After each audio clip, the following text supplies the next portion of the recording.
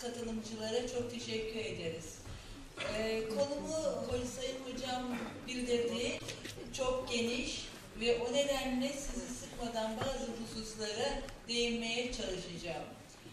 İnternet e, ve internet üzerinde yapılan reklamlar konusunda tüketicinin korunması hakkındaki kanun tasarısı taslağının mevcudiyetine rağmen bugün itibariyle yasal düzenlemeler ve etik ilkeler açısından önemli boşlukları ve tereddütlerin olduğu açıktır. Halbuki satış arttırma faaliyetleri içinde belki de en önemlisi, en ucuzu ve etkilisi internet yoluyla yapılan reklamlardır.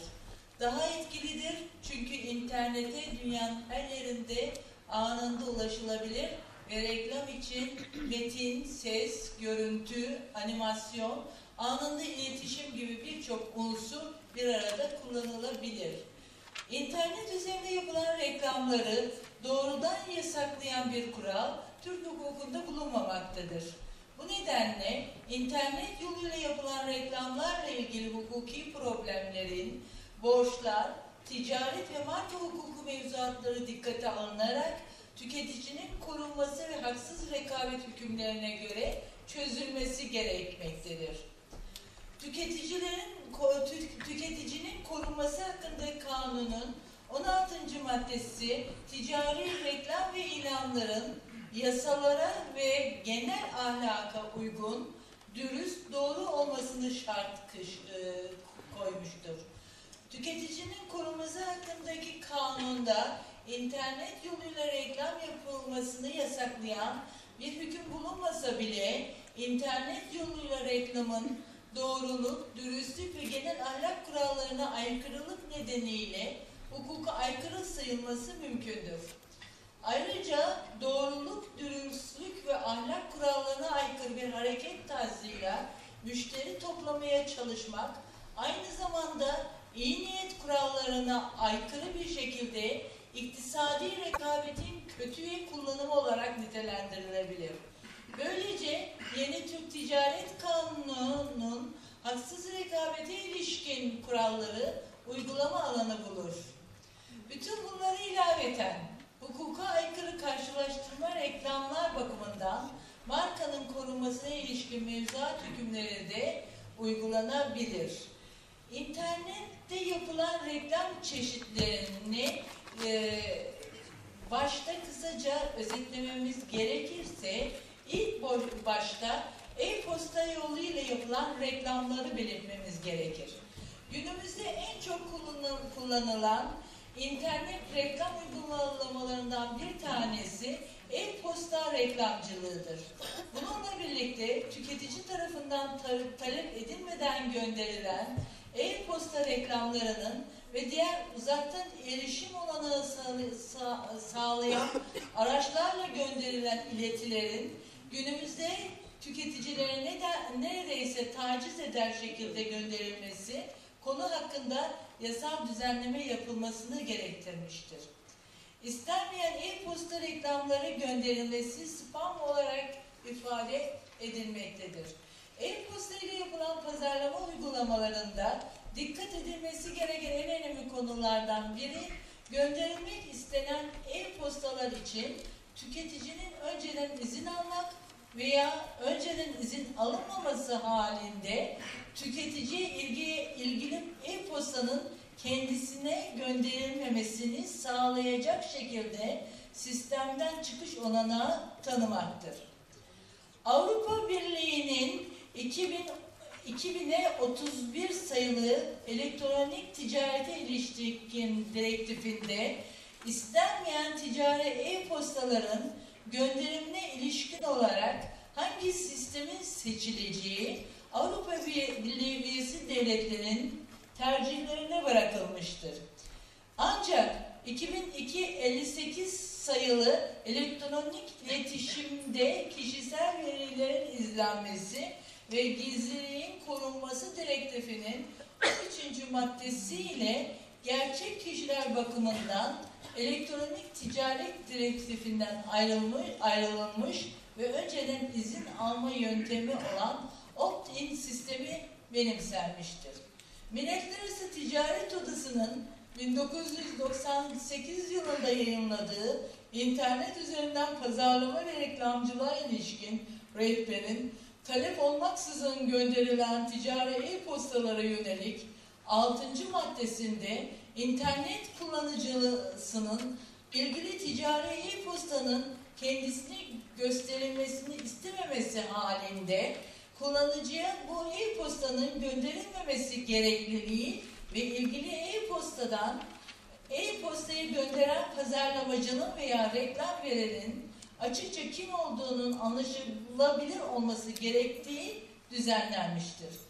Türk hukukunda meclis gündeminde olan elektronik ticaretin düzenlenmesi hakkında kanun taslağının konuya getirdiği düzenlemede ise ticari elektronik iletiler alıcılara önceden onayları alınmak kaydıyla, kaydıyla gönderilebileceği, bu onayın yazılı olarak veya her türlü elektronik iletişim araçlarıyla alınabileceği, esnaf ve tacirlere önceden onay alınmaksızın ticari elektronik iletilerin gönderileceği, gönderilebileceği düzenlenmiştir. İlgili düzenleme kapsamında esnaf ve tacir dışında kişiler bakımından önceden izin alma sisteminin benimsendiği, e, tasarının yasalaşması halinde esnaf ve tacirler dışındaki kişilere ticari e-posta gönderilmeden önce onayların alınması gerektiği görülmektedir. İnternet yoluyla yapılan reklamların diğer şekilleri ise işletmelerin kendilerine ait web siteleri üzerinden yaptıkları reklamlar ve işletmelerin başka web siteleri aracılığıyla yaptıkları reklamlardır. Şimdi ben internet üzerinde yapılan e, karşılaştırmalı reklamlara girmeden önce karşılaştırmalı reklamların tanımı ve unsurları üzerinde durmak istiyorum. Karşılaştırmalı reklam, rakibi veya rakibin ürünlerini veya hizmetlerini doğrudan veya dolaylı olarak teşhis edilebilir kılan reklamlardır. Avrupa Birliği'nin 84-450 sayılı aldatıcı reklamlara ilişkin konsey direktifinin 2A maddesinde karşılaştırmalı reklam tanımı yapılmıştır. İlgili tanıma göre açıkça veya ima yoluyla rakibin ya da rakibin ürünlerinin veya hizmetlerinin teşhis edilmesini sağlayan reklam karşılaştırmalı reklamdır. Aynı tanım 12 Kasım 2006 tarihli ve 114 sayılı aldatıcı karşılaştırma reklama ilişkin Avrupa Parlamentosu ve Konseyi Direktifinin ikinci C maddesinde de, de, de aynen alınmıştır.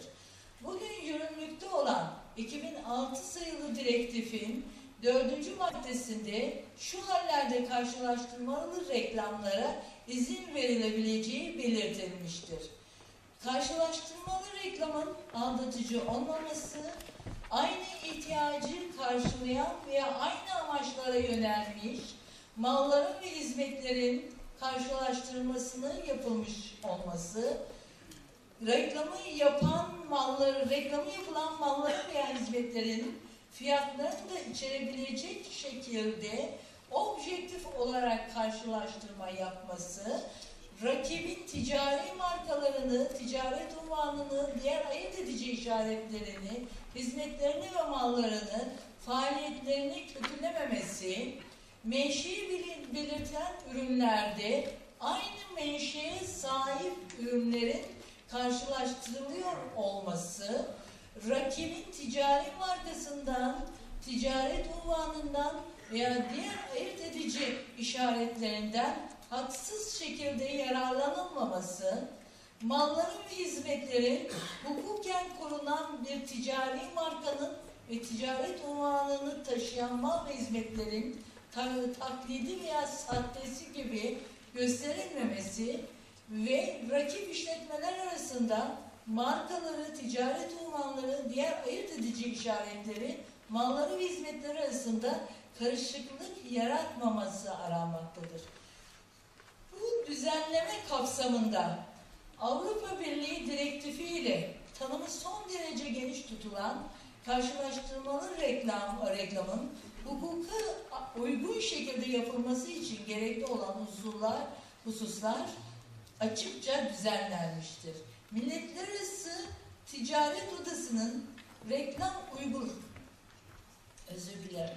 Milletler Arası Ticaret Odası'nın reklam uygulama esaslarının 11. maddesinde de genel olarak benzer bir düzenleme mevcuttur. Türk hukukunda karşılıklı, karşılaştırmalı reklamlara ilişkin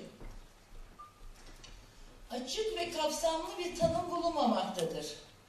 Ee, tüketicinin koruması hakkında kanunun 16. maddesinde aynı ihtiyaçları karşılayan ya da aynı amaca yönelik rakip mal ve hizmetlerin karşılaştırmalı reklamlarının yapılabileceği düzenlenmiştir. Bu düzenleme e, tasarı taslağına da aynen alınmıştır. Ticari reklam ve ilanlara ilişkin ilkeler ve uygulama esaslarına dair yönetmeliğin 11. maddesinde ise karşılaştırmalı reklamlara karşılaştırılan mal ve hizmetlerin belirtilmemesi, aynı nitelikte ve özellikte olması ve aynı istek ve ihtiyaca cevap vermesi, dürüst rekabet ilkelerine uygun olması ve tüketicinin yanıltılmaması halinde yer verilebileceği belirtilmiştir. Daha açık bir deyişle Türk hukukunda dolaylı karşılaştırmalı reklama izin verilmiştir. Türk hukukunda bir reklamın karşılaştırmalı reklam olarak kabul edilebilmesi için ortada reklam şeklinde bir beyanın olması ve bu reklamın sözle, res, e, yazıyla, resimle, müzikle, çizgiyle, her türlü görsel ve işitsel efektle, fotoğrafla veya karikatürle yapılabilir olması ve karşı tarafça da teşhis edilebilir olması gerekmektedir. Karşılaştırma yapılırken rakibin veya onun ürününün ismen zikredilmesi şart olmayıp Türk hukukunda ismen belirtilmemesi de gerekmektedir. Tüketici reklamın yapılış şekli itibariyle rakibi veya rakibin ürününü teşhis edebiliyor ise dolaylı karşılaştırma yapılıyor demektir. Örneğin Türkiye'de GSM operatörü, operatörü yayınlanmak üzere televizyona verdiği reklamda e, diğer bütün GSM operatörlerinden daha fazla kapsama alanına sahip olduğunu iddia ediyorsa burada karşılaştırmalı reklam var demektir. Zira Türkiye'de ilgili reklamı yapan GSM operatörü dışındaki diğer GSM operatörleri de teşhis edilebilir niteliktedir. Aynı durum reklamın internet yoluyla yapılmasında da geçerlidir. Ancak üreticinin kendi ürünler arasında karşılaştırma yaparak reklam yapması karşılaştırmalı reklam kavramına girmez. Bir reklamda rakibi veya onun ürünlerini teşhis edebilme ölçütü, reklamın hitap ettiği tüketici sınıfının algılanma derecesine göre tespit edilir. Ayrıca bu karşılaştırmalı reklamdan söz edebilmek için reklamda teşhis edilebilir rakiple veya onun ürünleriyle reklam verenin kendi ürünleri, ürünleri karşılaştırılıyor olması gerekir. Reklam verenin amacı bir karşılaştırma yaparak kendi ürünlerinin üstün ve emsalsiz yanlarını ortaya koymak ve tüketicinin kendi ürünlerinden yana seçim yapmasını sağlamaktır. İsviçre Federal Mahkemesi'nin 2006 tarihinde verdiği bir kararında karşılaştırmalı reklamın gerçek olmayan veya yanıltıcı unsurlar içerip içermediğinin tespitinde hakimin kendisine reklamın yöneldiği hedef kitlenin yerine koyması gerektiği işaret edilmiştir. Bu bağlamda kendi hayat tecrübeleri ve olayın özelliğine göre alıcının iyi niyetli olarak reklama atfedeceği anlam dikkate alınmalıdır. Eyvah, eyvah, tamam. Türk hukukunda korumasına geldim hocam. Türk hukukunda daha gelmedim.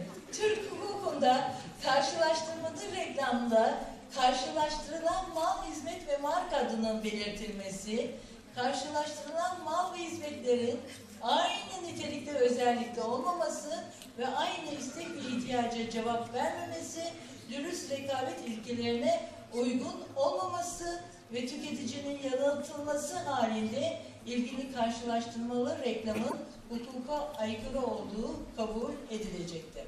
Şu anda bir iki mahkeme kararına bahsedeyim. Sonra kısaca tüketicinin hangi hükümlerle korunacağını belirteyim. Yargıda 11. Hukuk Dairesi'nin ilgili konu- konuyla ilgili bir kararında boyada birinci sloganını kullanan davalının bu reklam ile piyasadaki en kaliteli ürünü ürettiği izlemini uyandırdığı ve bu nedenle e, le haksız rekabete sebep olduğu e, karar altına almış, alınmıştır.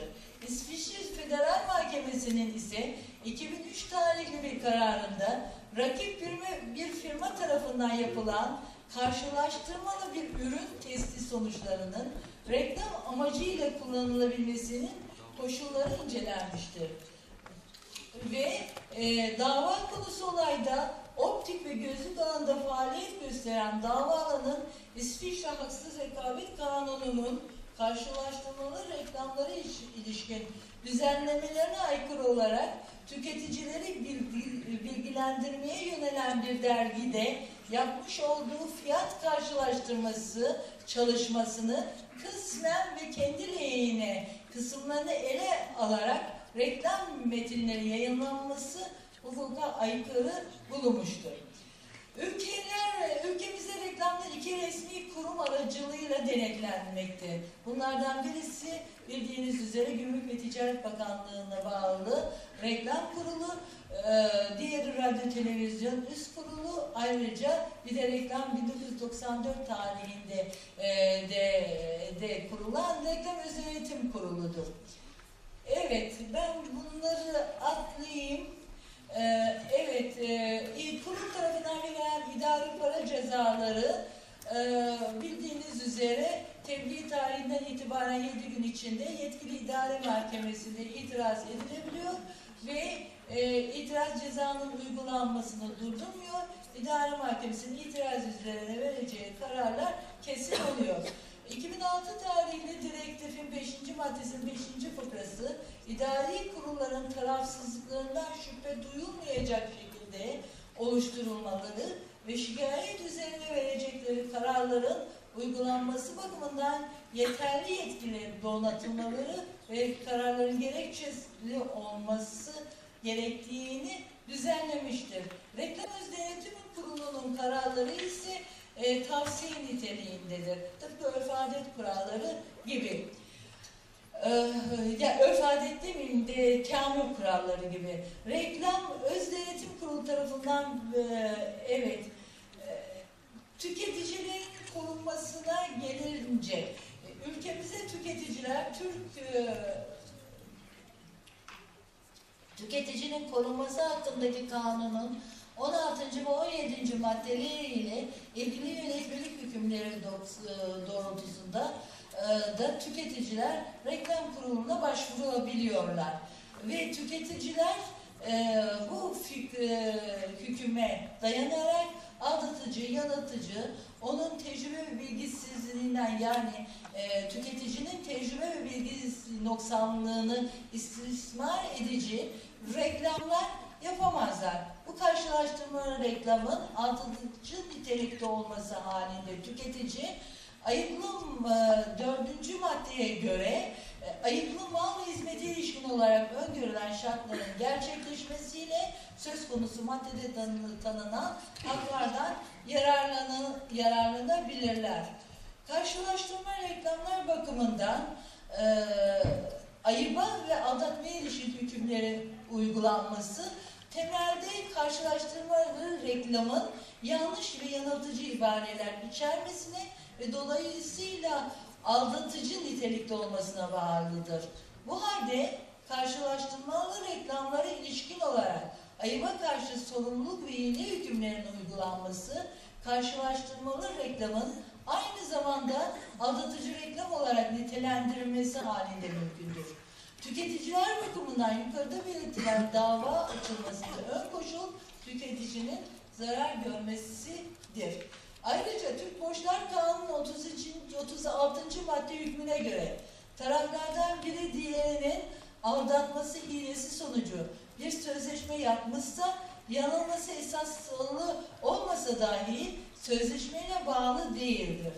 Çünkü bu kişinin aldatması hilesi sonucu bir sözleşme yapan taraf, sözleşmenin yapıldığı sırada karşı tarafının aldatmayı bilmesi ve bilecek durumda olması halinde de sözleşmeyle bağlı değildir. Bu kapsamda Türk Borçlar Kanunu 36. madde hükmüne göre e, aldatıcı nitelikte bir karşılaştırma reklam nedeniyle mal ve hizmet satın alan tüketici Türk Borçlar Kanunu 36. maddesi hükmünden yararlanma olanağına sahiptir.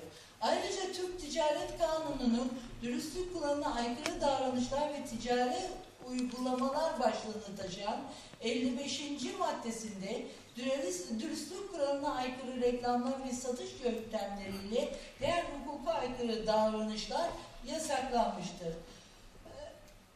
Ee, karşılaştırma bir bir reklam nedeniyle haksız rekabet ile karşı karşıya kalan rakipler ve tüketiciler haksız rekabet dolayısıyla açılabilecek olan bütün davaları açabilecekler. Ee, ayrıca yeni ticaret kanununun 60. maddesi gereğince haksız rekabet teşkil eden karşılaştırmalı reklamlara karşı açılacak davalar davaya hakkı olan tarafın bu hakkın doğumunu öğrendiği tarihten itibaren e, e, bir yıl ve herhalde bunun doğumundan itibaren üç yıl e, geçerek zaman aşımına uğrayacaktır. Ayrıca markaların korunması hakkında kanun hükmündeki kararnameye göre tescilli marka ile aynı ve benzer olan e, fazla e, aynı madde hükmüne de göre e, kısa kesim e, korunma imkanı söz konusu olacaktır. İnternet yolu- yoluyla yapılan karşılaştırmalı reklamların da hukuka uygun olarak değerlendirilmesi için yukarıda belirtilen ilgili mevzuata uygun şekilde yapılması gerekir. Bununla birlikte karşılaştırmalı reklamın yapıldığı mecranın internet olması, bazı internet uygulamalarının kullanılması ile gerçekleştirilen karşılaştırmalı reklamların değerlendirilmesini gerekmektedir gerektirmektedir. Bu uygulamadan bir tanesi metatagging yöntemidir.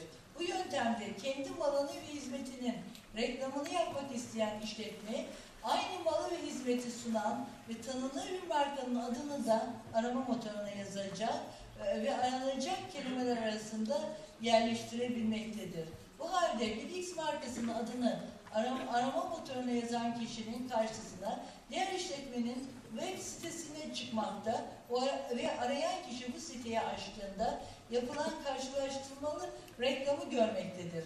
Bu tür reklamlar hem tüketiciler için yanıltıcı olabilmekte hem rakip işletmeler açısından haksız rekabet ile markanın korunması hakkındaki kanunu gündeme getirecektir. Ee, bir konuya daha değineyim. 556 sayılı markanın korunması hakkındaki kanun hükmünde kararnamenin 9. C maddesinde markanın teşebbüsün iş evrakı ve reklamlarında kullanılması ve işareti bulunan kişinin işareti kullanımına ilişkin hakkı veya meşru bağlantısı olmaması koşuluyla işaretin aynı ve benzerinin internet ortamında ticari etkiyi yaratacak biçimde alınıldığı yönlendirici kod, anahtar sözcük ve benzeri biçimlerde kullanılması halinde bu kullanımın yasaklanabileceğini düzenlemiştir. Evet, e, ilgili düzenleme markanın korunması hakkında kanun tasarı- taslağına da aynen aktarılmıştır. Bir de en son dakikada elime geçen bir e, kanunda 5651 sayılı internet ortamında yapılan yayınların düzenlenmesi ve bu, bu yayınlar yoluyla işlenen suçlarla mücadele edilmesi hakkındaki kanun 5651 e, e, e, içerik sebebiyle hakları ihlal ettiğini iddia eden kişinin herhangi bir yayında içerik sağlayıcısına, web sitesi sahibine veya yer sağlayıcısına başvurarak kendisine ilişkin içeriğin yayından çıkarılmasını ve hazırladığı cevabı bir hafta içinde internet orta- ortamına yayınlamasını isteyebilir. Söz konusu kişiler iki gün içinde talebi yerine getirir. Yerine getirmezse suç ceza mahkemesine başvurularak cevabın, cevabın yayınlanmasını isteyebilir. Ee, Türk Ticaret Kanunu 55, 58 ve 62 hükümleri gereği internet üzerinde yapılan haksız rekabet hallerinde de düzeltme hakkından faydalanılabileceği, yani bu madde, bu kanunun bu maddesinden istifade edilebileceğini düşünüyorum. E, sözüme evet, e, son, çok açmadım değil mi? Evet, öz- özet olarak belirtmek gerekirse, e, gördüğünüz üzere kanun maddelerini sıraladım teker teker baştan aşağı. E, çok fazla maddelerden istifade etme olanağımız var.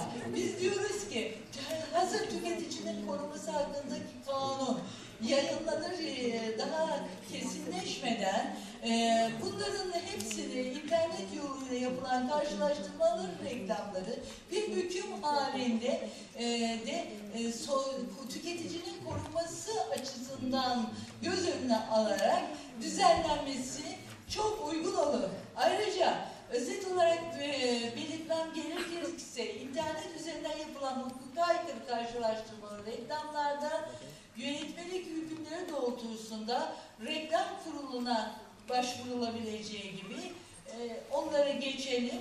E, bizim istediğimiz 2006'yı ikinci e, talebimiz var. E, ka- kanun koyucudan.